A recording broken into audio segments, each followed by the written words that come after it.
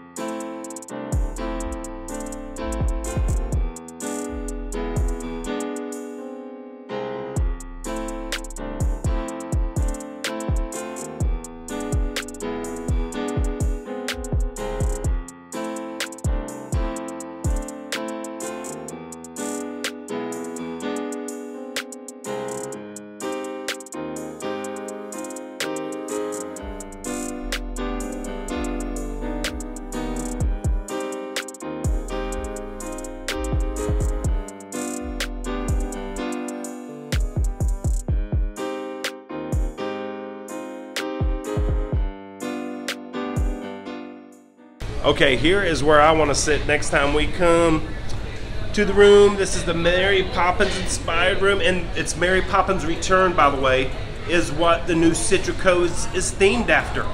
It is absolutely gorgeous in this resort. And look at the umbrella chandeliers up there. Fantastic. There's so many details in here. Look, cherry tree lane right there on the wall. Oh, we're just so. And Stephanie, our favorite server, is back. I'm so excited. Of course, an open kitchen concept, which is great. You know, I love that. You can see it pretty much from every table.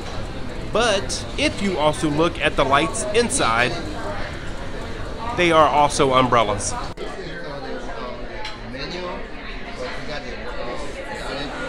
There she is right there. Stephanie, if you ever come here, make sure you ask for that server right there. She is fantastic.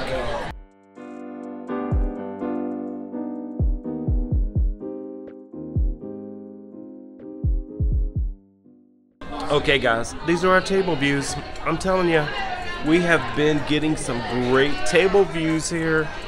Fantastic.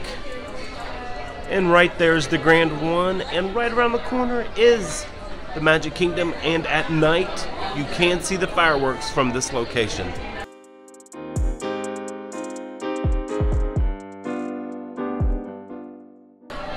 Okay, travelers, so here we are. We are in the new reimagined Citricos, and it is themed after the return of Mary Poppins.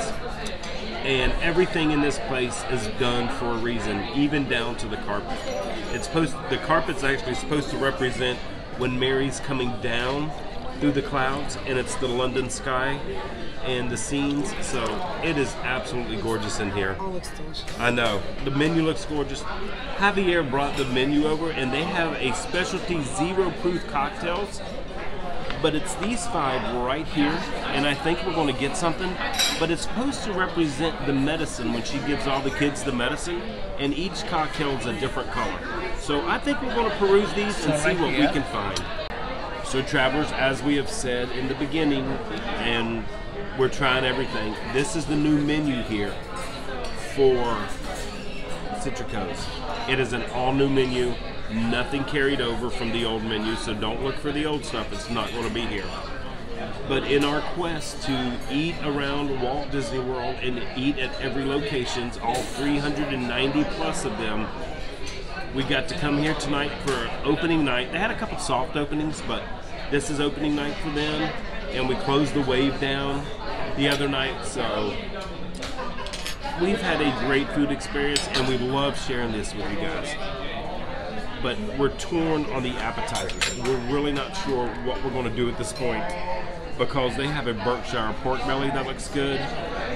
But the sweet corn bisque might be calling my name. So we're going to see what we come up with. Okay, so we did decide on two specialty zero proof cocktails. Michelle is getting the sparkling grapefruit soda. It is traditionally made grapefruit syrup sweetened with Florida honey and topped with house-made seltzer, and that is eight dollars. I am getting the old-fashioned orange soda float, handcrafted orange syrup, house-made seltzer, and vanilla green ice cream, and that is nine dollars. So travelers, when you do come here, this is like a California grill type pricing. So just remember that. Same. And I will have to say, it is absolutely gorgeous in here. I'll say it again. I'm just great. I'm ecstatic to be back in this space with Michelle. It is one of our favorite restaurants on property, and we are so glad that we came back opening night tonight. Also, to let you know, the menu is very Florida-based menu. A lot of guavas, a lot of fishes, a lot of Florida honey, all kinds of Florida ingredients on this menu. So that's really nice. Locally sourced and harvested. So that's that's a great menu. So travelers, our mocktails just arrived. And this is the old-fashioned orange float right here. Look at that. That And looks you so can't good. be mad at the straw. It's No, so I can't be mad at it. It is paper straw. That's okay. But it's look at that. It is so cute. And here is Michelle's sparkling grapefruit soda. And it looks like they've got candied grapefruit rinds right there. Or peel. Oh, it smells good too. Mm. So we're going to give these a try. Me nuts. Cheers, honey. Cheers. And by the way, travelers, welcome to our table. That's a strawberry float right now. I mean, an orange float, not strawberry. I got confused. This is so good. Delicious.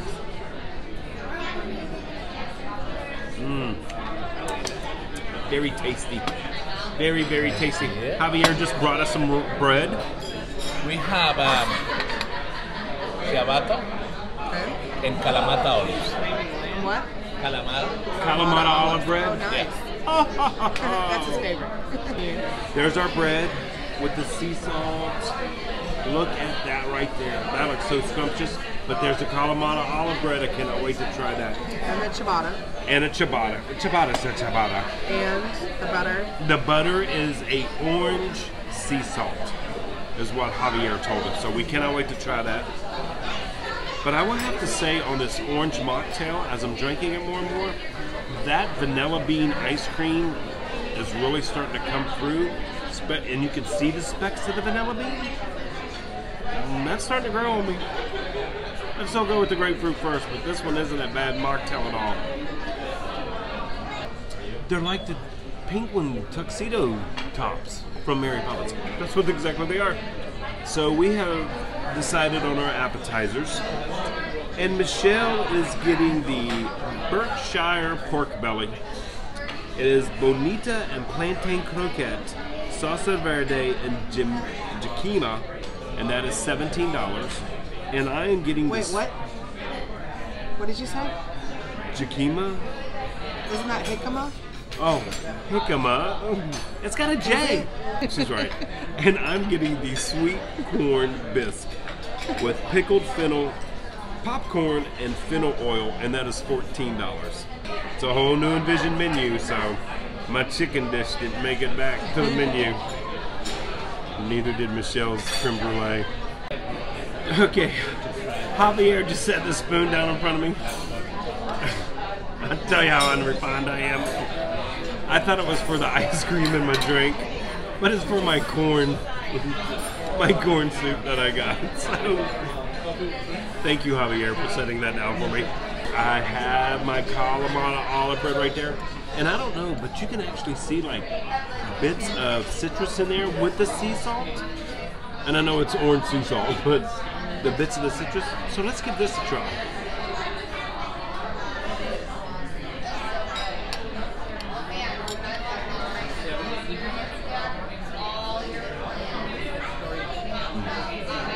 Will say, that bread is a nice. It's kind of a tough bread, but it's yet fluffy and so flavorful. Got a great crust on it, but that sea salt, and you can taste that orange come through at the end of that butter. That is a great combination. Okay, so Michelle said I had to try the ciabatta bread right there with my butter on it. So we're going to give this a try. And it's not a really tough. I thought it would be more tough. No, it's it's a soft ciabatta. Yeah, it's a Like, very The soft. outside is crispy, like it should be flour coated. The inside's Yeah. pillowy, soft. This, we're to give this a try. Mmm. Really good. That is fantastic. We have decided on our entrees. This is going to be a hard one, but Michelle got to choose first. A little bitter. She's getting the guava barbecued short ribs. I'd already seen the menu, and that's what I was going to get. But it comes with aged cheddar creamy grits, roasted poblano, curtido slaw, That's pretty good. Yeah. Curtido slaw and Brussels sprouts, and that will be fifty dollars. I'm going off the rails since she threw me off the rails.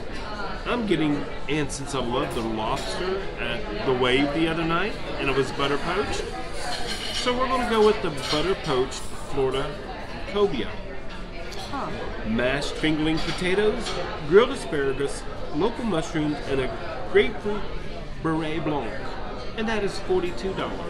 I am having a seafood dish tonight, and I'm actually looking very forward to that. So we'll see how that comes out. It was either that or a lot of chicken, but I think the cobia is going to be very nice Oh, you know what that is? Because I just looked it up. Oh no! Don't just Do don't. you want me to tell you? Yeah, go ahead. Tell me. Well, another name up for it. It says it's a black kingfish, Okay. a black salmon, Okay. a lean, a lemon fish. But I caught the black salmon, Okay. so I don't know what that means. Well, we're going to go with it. We're going to go. It was either that or, I mean, they got two steaks on it's here. the most delicious premium white fish. There we go. There we go. And it's and it's butter poached. How can you beat butter poached fish? So that's what we are going with tonight. Yeah, it's they call it a blue cobia. Okay. We Oh, cannot really wait. Does it look good? Mm-hmm. Is there a picture of it? Don't show me. Don't ruin my Oh my gosh. my experience. The appetizers just arrived, and they look quite tasty. My corn soup, sweet corn bisque, has popcorn in it, and the fennel right there. But Michelle's pork belly is a little different than the pork bellies we're used to. So it's going to be interesting to see her try that and see just how good it is. I'm going to do my soup first. Because I have to get like settled or something. Okay. Nice and creamy. Looks good so far. Let me get a little piece of that. Sometimes it works and sometimes it doesn't. Some of that popcorn on there. There we go. We'll give this a try. you.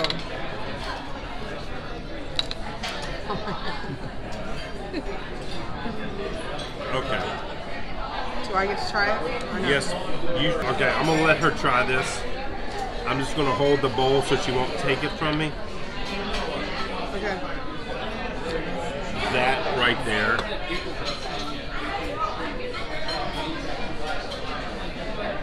Is a fantastic It's delicious. corn bisque. Oh my god, that is so good. This is her pork belly. But that's it right there. Check that out. And she's going to give this a try. I'm to make her try it first. Michelle's over there getting her pork belly. I'm trying to get you a piece. Oh, she's going to let me have a bite. First Okay, bite. there we go.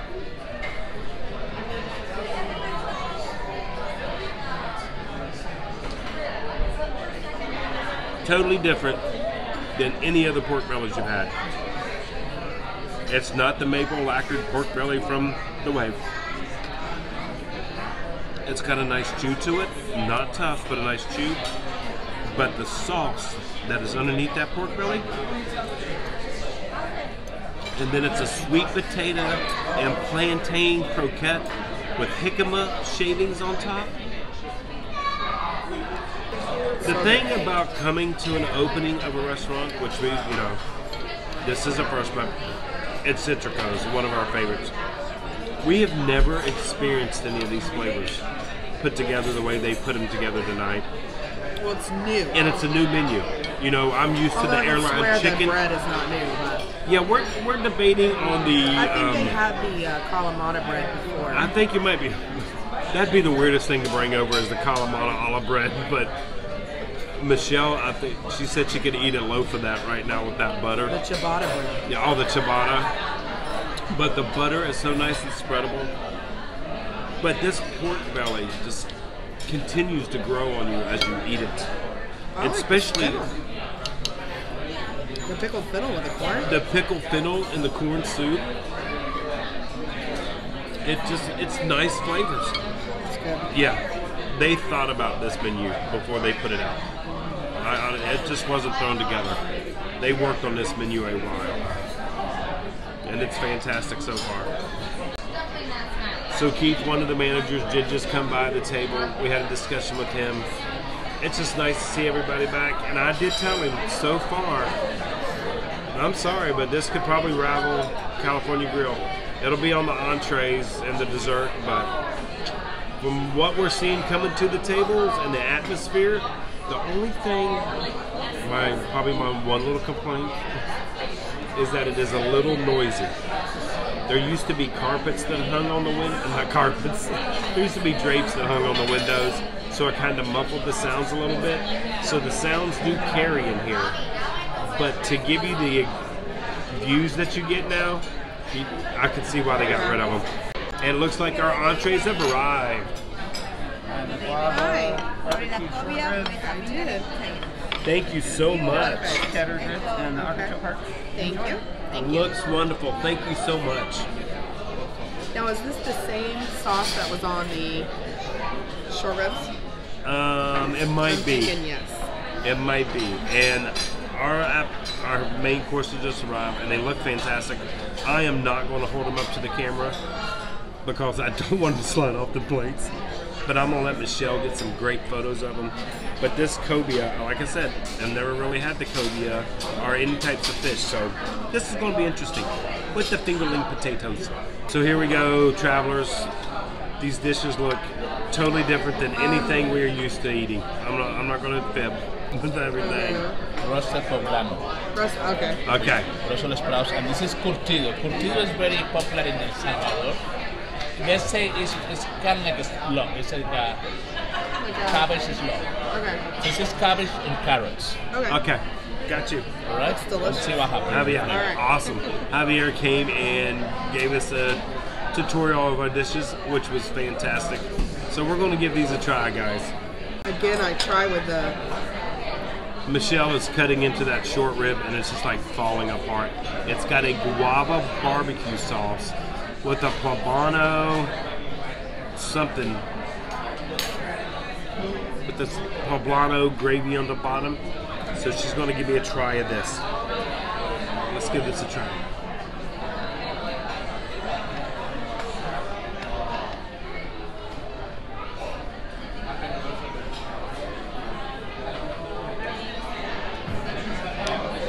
The guava barbecue sauce is really good. That poblano cream on the bottom has just enough heat that you can taste it on the front of your tongue. But it's a very nice dish. Very nice dish. There is a little heat in there. There is a little heat in there. Very nice. good. That's very good. And she also got Brussels sprouts with that. And I'm going to get my piece right here. Like I said, not a big seafood eater, so we're going to see here. Here we go.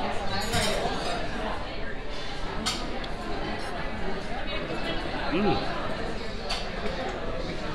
Okay.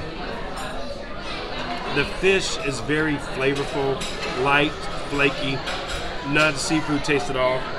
But then that grapefruit reduction kicks in with a little bit Is of that what that tartness. is? Like the same that was in the is a grapefruit reduction. Okay, it's it's good. I'm just not a fish eater. Um, oh, I did get fingerling potatoes. There are smashed fingerling potatoes with little mushrooms on there. So let's give this a try. And is it good? Mm-hmm. Fantastic. Earthy, Wild for me. Yeah. very earthy, very wild because there's leeks in there and the mushrooms and the fingerling potatoes. But that's the best thing about our experiences is that her dish is giving her a whole different experience than mine is tonight. So that's why we do these guys. Oh so we wait, can. I didn't give you any of the um. What is that stuff? gosh. We're finding more stuff on our plates. I think. Oh, the cheddar grits. all the cheddar grits. She's, What she was saving doing? those. What was wrong I think I got a hair on my glasses. It's cheddar grits. Okay, cheddar grits. Here we go.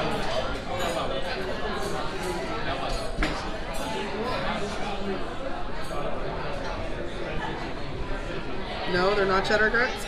No, they are, but they're like a stone ground cheddar grits. Uh-oh. They're very grainy grit, not a really Oh, fine yeah. grit. They're very grainy grit, aren't they? Yeah, I've never had a grit that big. I know. It's I- almost like um, uncooked polenta, like not cooked all the way polenta, but it's a grit. It's a grit. They're good, but they're just coarse. Yeah, they're very ground. coarse grits. I've never So- had those before. Yeah, new I didn't know flavors. they had them like that. I didn't either, but I enjoyed them. So I really don't know how fish is supposed to be cooked because I don't eat fish a lot. I might have to say this might be a little overcooked. Michelle kind of agrees with me, but the flavor in it is still fantastic. So now we're going to look at the dessert menu that Javier just brought right here, and I know what we're getting. I don't even have to ask Michelle because we're sharing it. Yeah, and I am crying. I gave up hope. I thought maybe they might somewhere back in the kitchen find my my creme brulee. No creme brulee, but they have an orange blossom flan, which we are going to give a try. But it's blood orange gelee, orange scented shortbread, orange blossom honey drizzled fruit, and that is twelve dollars tonight. So, like I said, this is a very, very Floridian-based menu now. So We did go to Magic Kingdom today. On that note, yeah, we- everybody, please don't go to Magic Kingdom. we stayed all hot. an hour. We Yeah. weren't even there an hour. we walked in. We walked in, we rode a People people, mover. mover, and we walked out. yeah, that was it. That's all we did. But it was hot. I don't see how those folks are doing it. And if you're coming down, I applaud you for coming I here do. and supporting Disney and having a vacation. Okay, that looks cute. Our dessert Alright, just came. cute. Javier just set it down. That looks like a So we're gonna give it a try. with caramelized sugar. That's a that's a It was blueberry. Look at that. That's the flan right there. It's on a shortbread cookie, but that is an orange flan right there. So we're going to give this a try. Michelle's already bitter at this dessert, and she ain't even tried it yet. So we're going to give it a try now. God, it's like she's taking medicine.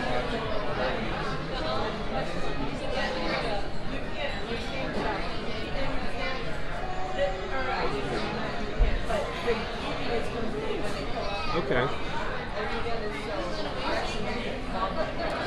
I enjoy the flan part. I do not need that shortbread cookie. You could lose the shortbread cookie and I'd be happy. Go ahead. The shortbread cookie doesn't taste done enough for me. It's a very raw kind of dough. The orange jelly is bitter, almost grapefruity. The flan has no taste. The honey that's actually on the fruit is pretty good. I wish the honey was over the whole rest of the dessert. Other than that, It's not her cup of tea, not my cup of tea. as Mary Poppins would say.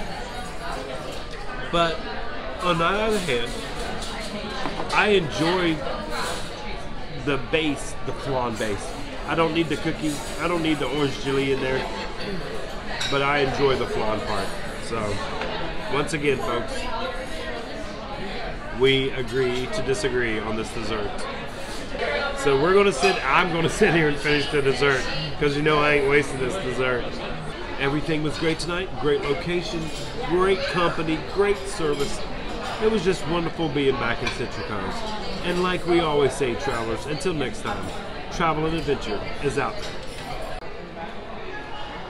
Yep, not yet open. Hopefully soon. You never know. We might get the word. Victoria and Albert's right there, guys, right beside Citricos.